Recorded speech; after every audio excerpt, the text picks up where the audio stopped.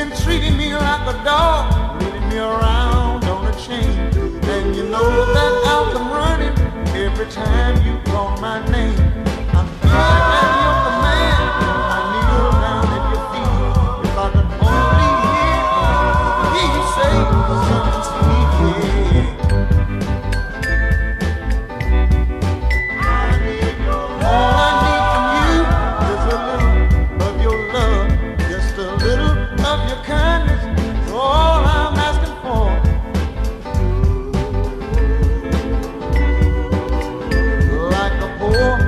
helpless beggar asked for a piece of bread.